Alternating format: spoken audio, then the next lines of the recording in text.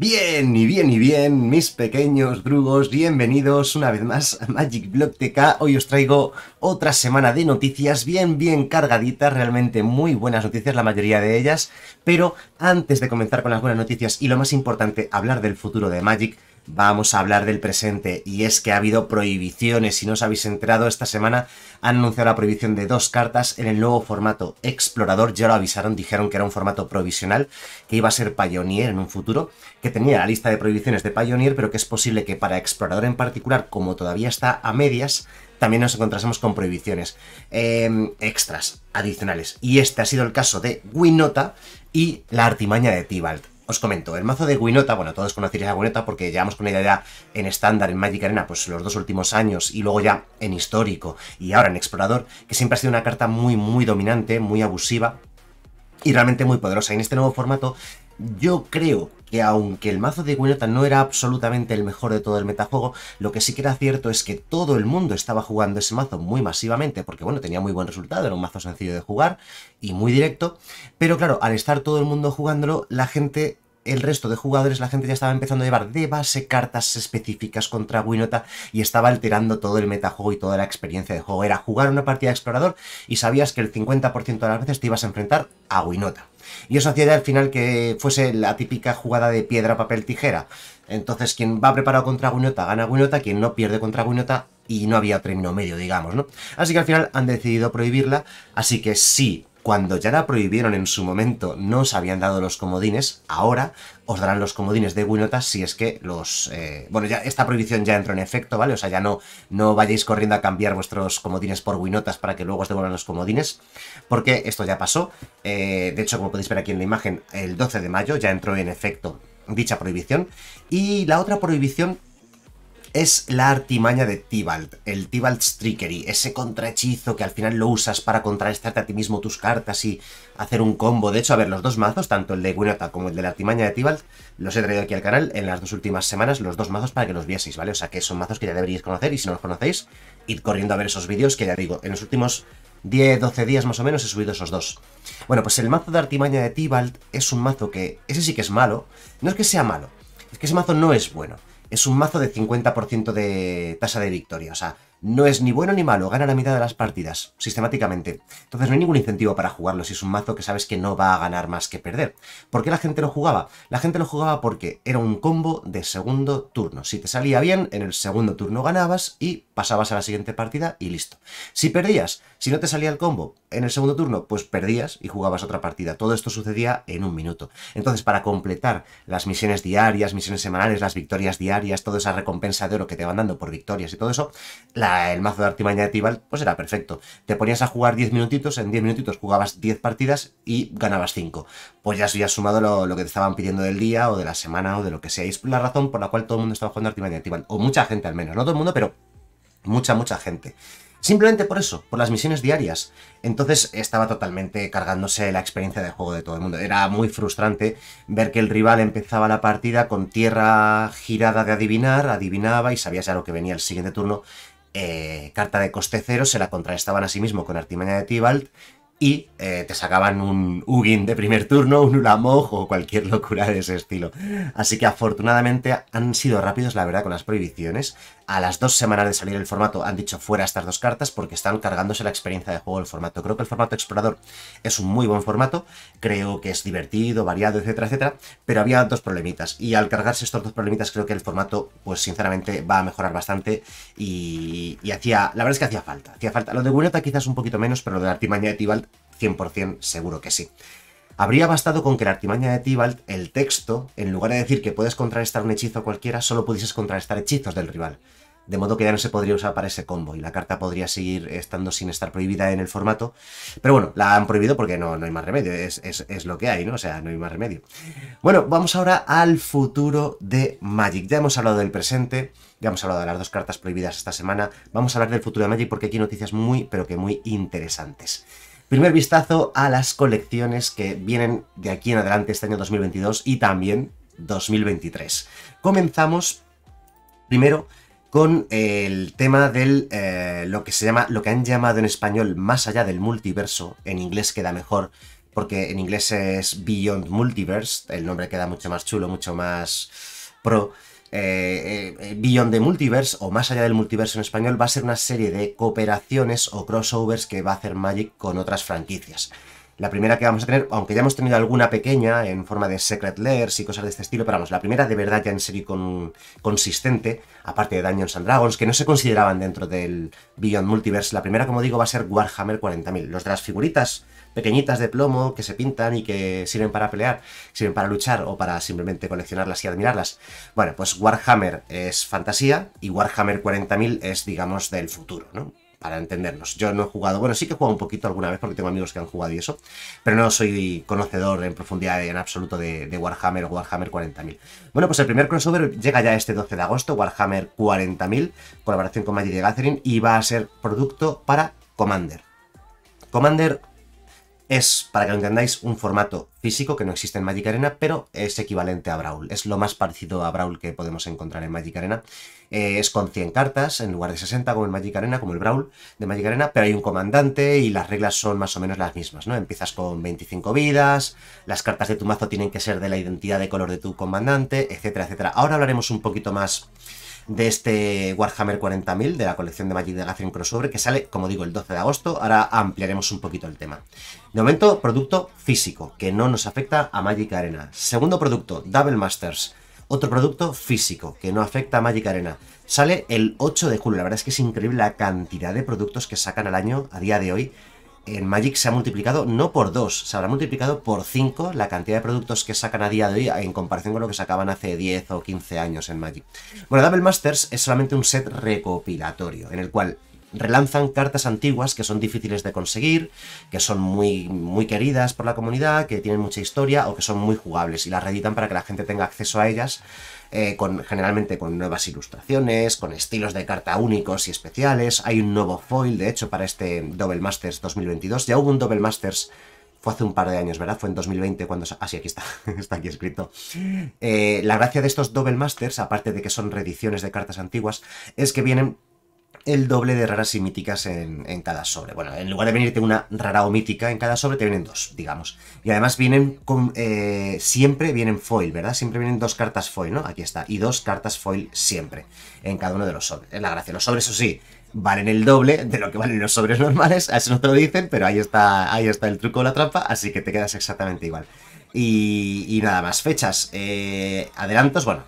Las previews de las cartas pero vamos, la salida oficial de la colección es el 8 de julio. Aquí tenéis algunas imágenes de Double Masters, el, logo, el símbolo de expansión, algunos sobres de Double Masters. El sobre de coleccionista de Double Masters.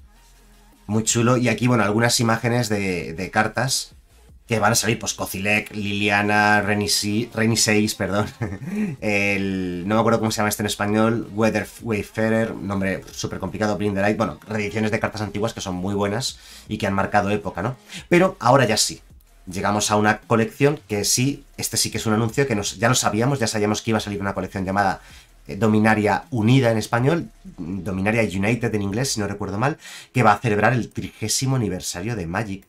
Eh, en su ambientación original, porque no se lo sabéis, las primeras colecciones de Magic estaban ambientadas en un plano llamado Dominaria, y lo del multiverso y los planos de diferentes de Innistrad, de Kamigawa, Mirrodin, todo esto fue una cosa que fue saliendo con, los años, no fue un invento posterior. En un principio era Dominaria todo y ya está. Bueno, pues volvemos a Dominaria para celebrar el trigésimo aniversario. Magic nació en 1993 y esta Dominaria United o Dominaria Unida está ambientada en ese plano. Aquí podemos ver, pues, por ejemplo, a Karn, que es uno de los Planeswalkers característicos de esta colección. Este es el símbolo de expansión, el de la izquierda, porque el de la derecha será el símbolo de la expansión de Dominaria Unida dedicado a Commander. Los productos específicos de Commander de Dominaria tienen su propio símbolo. Es parecido, pero no es idéntico.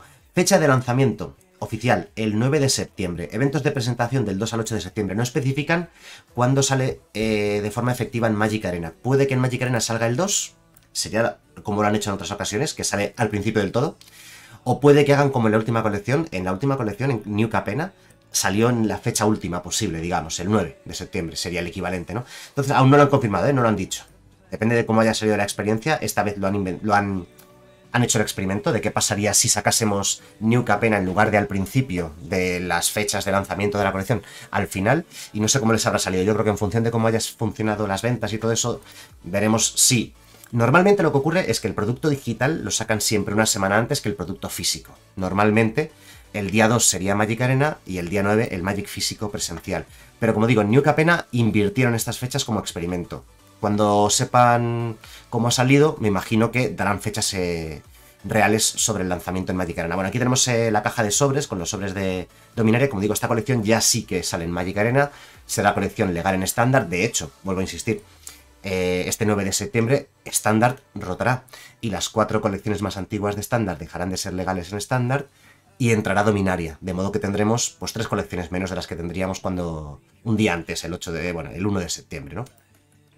Ahora aquí tenemos los sobres de edición, los sobres de coleccionista. Me gusta mucho el color dorado, el color amarillo de los sobres. Y bueno, eh, ah, bueno, por cierto, una cosa muy importante. Van a sacar, esto es nuevo totalmente, van a sacar, esto para Magic Arena no, ¿vale? Van a sacar, bueno, a lo mejor sí, no, dicen que no tampoco en ningún sitio. En un principio es un producto físico, como podéis ver es un sobre físico, como podemos comprobar. Van a sacar Jump Start de aquí en adelante con cada colección. Como digo, esto es nuevo. Antiguamente, hasta ahora, hasta la fecha, los Jump Start que han sacado son productos eh, alternativos, que no tienen nada que ver con la colección que sale. Pero a partir de Dominaria Unida, con la colección sacarán sobres de Jump Start de dicha colección. ¿Qué son los sobres de Jump Start? Son una cosa muy chula, por si no lo sabéis, son sobres de 20 cartas preconstruidos, es decir, diseñados para que los abras y los puedas jugar directamente como si fuesen un mazo. Lo que hay que hacer es comprar dos sobres, juntarlos y ya está. Son sobres aleatorios, ¿vale? Cada uno te puede salir con lo que sea juntas un mazo de 40 cartas, ya vienen con tierras y todo. O sea, son jugables 100%. La verdad es que el concepto a mí me gusta mucho. Es una especie de medio camino entre limitado y construido y está bastante, bastante bien. Vienen a reemplazar los sobres temáticos. Los sobres temáticos eran, como su propio nombre indica, sobres con un tema concreto. Pues un color, una facción. Eran sobres de 35, 35 cartas, creo. Es que esto no existía en Magic Arena. Los Team Busters, los sobres temáticos, no existían en Magic Arena. Nunca he comprado uno, son productos físicos. Creo recordar que eran sobres de 35 cartas. Al menos eran muchos más que 15, que son los sobres normales de 15 cartas, eran 35 si no recuerdo mal. Como digo, con un tema concreto, un color, una facción o lo que sea, los van a retirar, parece ser que a lo mejor no han funcionado bien, no han sido un éxito de ventas o lo que sea, y van a probar pues con estos... No es una prueba, es algo para dejarlo fijo con cada colección. Me parece un buen cambio, la verdad, y me parece bastante interesante. Me gusta mucho el concepto Jump Start y, a ver, estaba diciendo esto para Magic Arena en principio no va a salir, pero ¿por qué no? La verdad es que lo pueden sacar perfectamente. De hecho, en Magic Arena, con cada colección tenemos Jump In que es similar a Jump Start. El concepto es el mismo, sobres de 20 cartas, que juntas dos sobres preconstruidos aleatorios, los juegas y listo. Los sobres están preconstruidos, lo que pasa es que tú compras el sobre y no sabes qué conjunto de 20 cartas te va a salir. Los conjuntos de 20 cartas están predefinidos, son públicos, ahí lo que pasa es que hay cientos de posibles sobres de 20 cartas distintos. Vale, eh, otra cosita, esto ya es físico, ¿vale? Volvemos a Magic físico.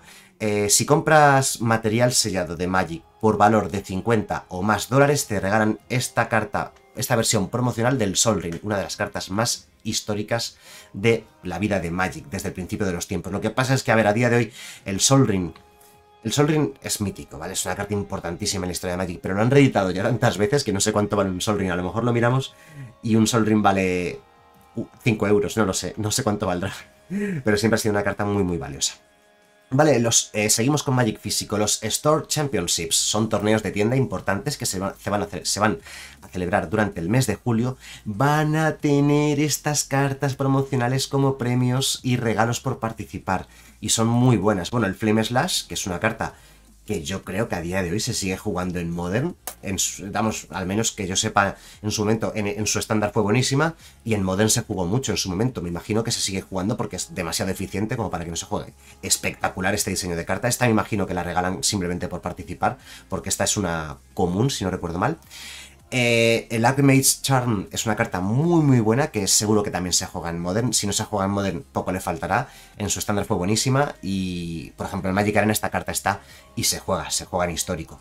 Eh, también bastante, bastante, bastante chula, pero el pez, eh, bueno, el premio gordo es este Dark Confidant, que es una de las mejores cartas de toda la historia de Magic que con un diseño me parece absolutamente espectacular. No sé a qué precio estará el Dark Confidant a día de hoy. Me imagino que esto ya es para los ganadores, ¿vale? Porque un Dark Confidant no sé a qué precio puede estar a día de hoy. Eh, lo que pasa es que lo han reeditado ya varias veces y cuando van reeditando las cartas, pues al haber más stock, su precio baja porque son más fáciles de conseguir, se abren muchos sobres, se abren muchos Dark Confidant y los precios tienden a bajar. Pero en su momento estaban realmente muy, muy caros. Es que, a ver, vuelvo a repetir, llevo muchos años ya sin jugar Magic físico desde que me volqué, me centré en Magic Arena, pero no sé si a lo mejor valían 40 euros o 50 euros los Dark Confidant, puede ser, o me estoy columpiando. Valían mucho. Me imagino que podría mirarlo ahora, pero es que no, me he puesto, no he pensado hablar de esto en el vídeo y no me he puesto a mirarlo. Vamos, el caso es un premiazo porque es una de las mejores cartas de la historia, aunque haya bajado de precio, sigue siendo Da igual el precio que tengo en Dark Confidant, si te van a dar esta versión. Es que esta versión es espectacular, el dibujo es alucinante.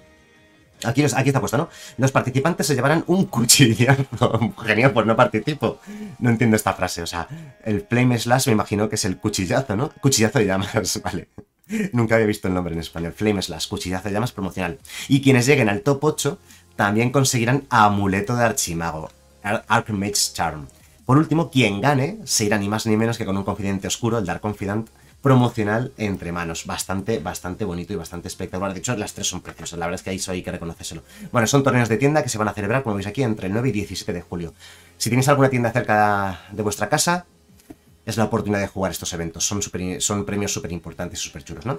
Vale, madre mía, es que, es que este vídeo va a ser eterno porque hay tantísimas noticias espectaculares. Nuevas aventuras para los jugadores de Alquimia. O alguien sigue jugando Alquimia. E histórico, porque no sé si lo sabéis, las colecciones de Alquimia también son legales en histórico. Todo lo que sea legal en Alquimia lo es también en histórico. Esta parte de aquí, lo que viene a continuación, sí que es específico de Magic Arena y no existirá para Magic físico, solamente Magic Arena, solamente un producto digital, porque Alquimia es, una, es un formato exclusivamente digital. Y tenemos Alchemy Horizons Baldur's Gate, por cierto, Baldur's Gate es una ciudad perteneciente al universo Dungeons and Dragons, Dragones y mazmorras. Bueno, me imagino que sabéis que Dungeons and Dragons es el, primer juego de rol de la historia, o el más importante, al menos es el más importante, no sé si es el primero, ahora que pienso, que nació en los años 80 y en el cual están inspirados todos los juegos de hoy en día de rol, incluso Magic the Gathering tiene muchísima inspiración de Dungeons and Dragons, y bueno, es un juego de rol súper famoso, bueno, extremadamente famoso, de hecho hay una saga de videojuegos llamada Baldur's Gate, que os sonará, de hecho hace poco sacaron el 3, bueno, pues a partir del 7 de julio van a sacar una colección adicional en Magic Arena dedicada en exclusiva a alquimia y no va a ser de 30 cartas como las colecciones, mini colecciones de alquimia que sacan con cada colección. Por ejemplo, hemos, sacado, hemos visto ya colección de alquimia con la Sinistrat, eran 30 cartas en cada Innistrad, en total 60 porque son dos Innistrad. Sacarán otras 30 cartas en Kamigawa, dentro de un par de semanas sacarán otras 30 cartas de New Capena bueno, pues así con cada colección. Pero resulta que el 7 de julio no van a sacar 30 cartas para alquimia, sino que van a sacar otras 250 nuevas cartas específicamente diseñadas para alquimia y para histórico en esta colección Alchemy Horizons Baldur's Gate. Como podéis ver, el nombre está en inglés, me imagino, aunque, aunque este texto está traducido todo al español, eh, como podéis ver, el nombre no está traducido al español. Eh, pues Horizontes de Alquimia, Baldur's Gate o Puerta de Baldur. No sé si en español, en eh, Dungeons and Dragons está traducido al español, ¿vale? Entonces yo me imagino que en español se llama la Puerta de Baldur o a lo mejor lo dejan como Baldur's Gate. No lo sé, no lo sé.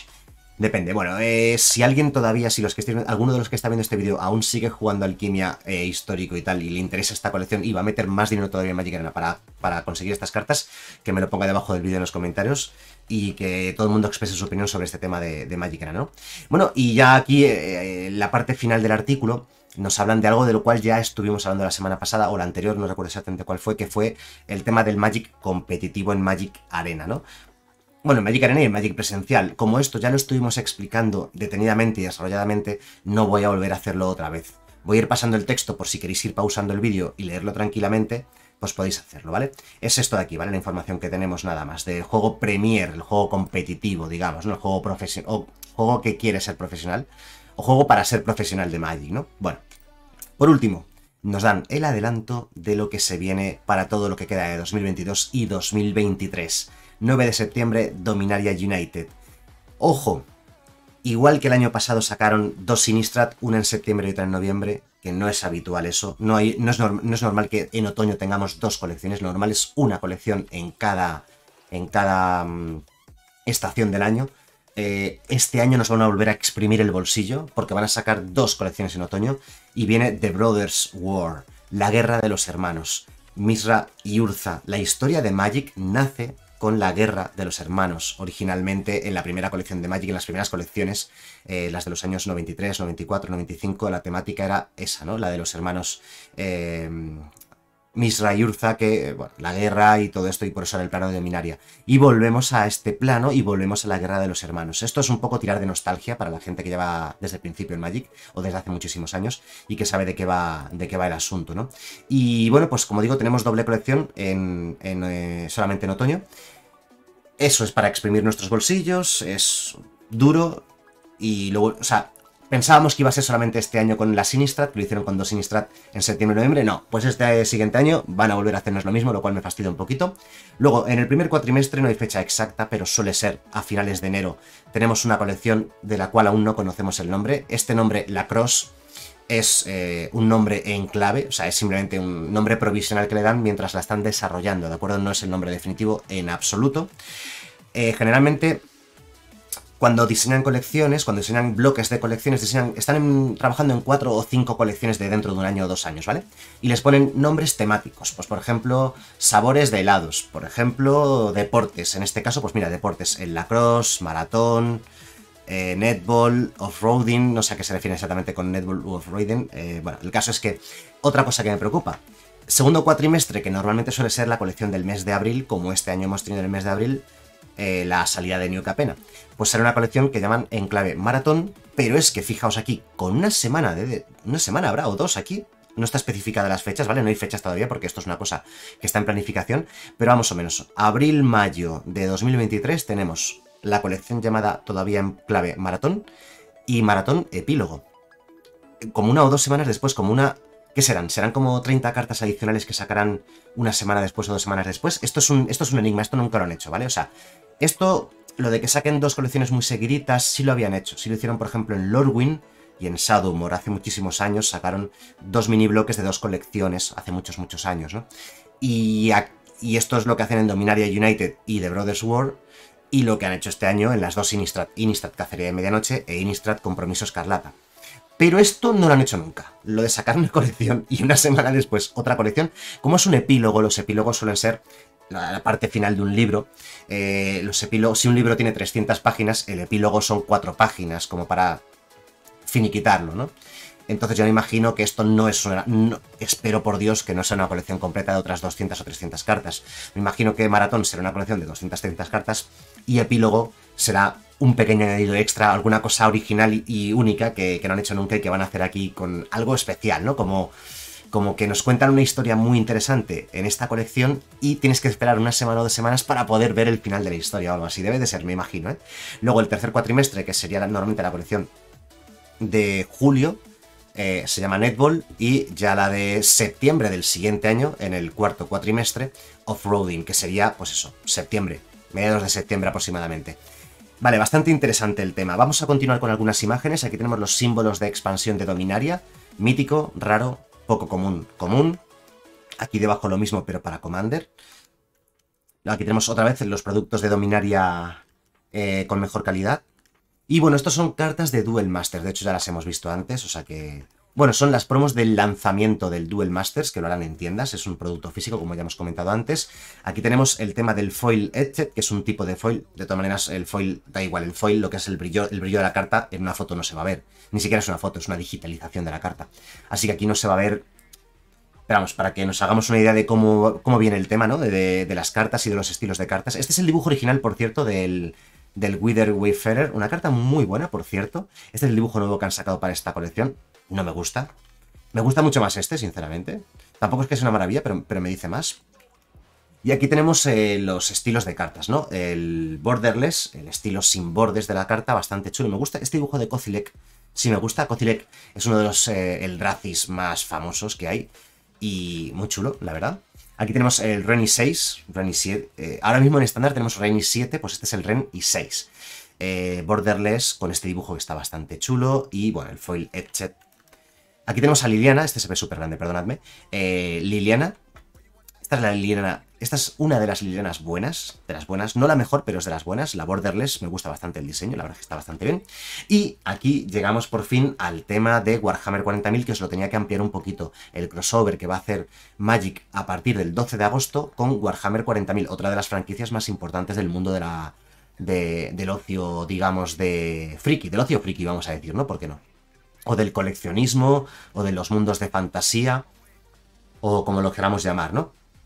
Va, a ser, eh, va a ser una colección de cientos de cartas, pero además también van a lanzar tres Secret Lairs, ¿vale? Os comento. ¿Va a haber cartas nuevas? Sí, va a haber cartas nuevas. Pero la mayoría de las cartas van a ser reediciones de cartas antiguas, pero con diseños de Warhammer, ¿vale? Con personajes de Warhammer y lo que sea. Aquí tenemos algunos de los logos, Universes Beyond, ¿veis? Lo que os decía antes. Universe, más allá del... ¿Cómo, se llama en español, perdón? No, no, no sé si me lo voy a conseguir aprender. Lo llaman más allá del universo. Universes Beyond. Bueno, más allá del universo. Aquí tenemos el símbolo, el símbolo de la expansión y van a ser concretamente 6, 8, son 8. Son 8 mazos de coma... No, no miento, ya es que no me sonaba. Son cuatro mazos de Commander preconstruidos de 100 cartas cada uno. O sea, en total van a ser 400 cartas, pero no van a ser 400 cartas distintas porque me imagino que habrá algunas que están compartidas en algunos de los mazos. No todas las cartas van a ser nuevas, va a haber algunas cartas nuevas, pero muchas van a ser reediciones. En cualquier caso, las reediciones de cartas antiguas van a venir con temática de Warhammer, nombres de personajes, dibujos eh, de la ambientación de este universo y van a ser cartas que van a ser legales, como digo, en Commander, pero también en Legacy y en Vintage, que son formatos antiguos solamente físicos. Todo esto no son productos de Magic Arena, ¿vale? No son productos digitales y no van a ser digitales. Los cuatro mazos tienen estos nombres, y luego los Secret Lair, que van a ser productos adicionales que se comprarán aparte, con unas poquitas cartas sueltas, 4, 5, 6 cartas sueltas, van a ser pues esto, Orcs, Orcos, me imagino, Age of Sigmar y Blood Bowl. Bueno, por ejemplo, sé lo que es Blood Bowl. Imagino que muchos de vosotros, si vais a tiendas de Magic, tiendas de frikis, digamos, habéis visto a la gente jugar Warhammer, Warhammer 40.000 o incluso Blood Bowl, que es eh, fútbol americano de Warhammer, básicamente, ¿no? Vale, como decíamos, la fecha de lanzamiento oficial, 12 de agosto, y tenemos ya algunos primeros adelantos. Eh, Abaddon, el saqueador, no me lo voy a leer, si os interesa Commander, leos el texto de la carta. Por lo que he leído por ahí, la gente ha dicho que es bastante bueno. Tenemos Sangre para el Dios de la Sangre, que por ahí he leído Ríete tú del gancho carne en esta carta. Y tenemos Vanguardia de Supresores, que son cartas, creo, nuevas que no existían en, en Magic, si no me equivoco. Pero esta, por ejemplo, sí que existía. El fabricar es una carta de toda la vida en Magic y que ya existía, pero que nos la sacan, veis, con un dibujo de ambientación de, eh, del universo de Warhammer, ¿no? Que no tiene nada que ver con, el dibujo original de esta carta.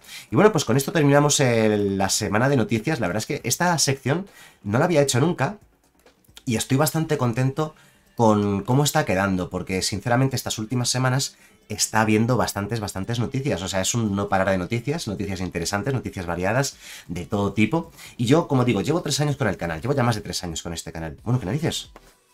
¿Se cumplen ya casi cuatro años? Sí, sí, sí, en, en agosto cumplimos cuatro años en el canal, llevamos camino de los cuatro años, llevamos tres años y medio, casi cuatro años. Bueno, pues en esto ya casi, ya cerca de cuatro años con el canal. Eh, siempre pensé el tema de hacer un, un, un vídeo de noticias, algo interesante, pero nunca, Nunca me animé porque pensé, ¿y qué voy a contar? Las cuatro noticias que hay cada semana hay muy pocas noticias, no le va a interesar a la gente. Pero hace poquito, hace un par de meses, dije, venga, vamos a hacerlo. ¿Por qué? Porque se empezaron a acumular bastantes noticias interesantes. Dije, vamos a probar a qué tal funciona. Y la verdad es que resultan vídeos bastante interesantes. Hay muchas más noticias de lo que había antiguamente en Magic. A día de hoy es que es un constante sacar productos y cosas novedosas. Y además la respuesta por vuestra parte también ha sido bastante positiva, bastante buena. Se ve que son vídeos que gustan, que interesan y seguramente pues, pues siga haciéndolos. Así que bueno, pues nada más, espero que el vídeo os haya gustado y nos vemos en el siguiente. Hasta luego.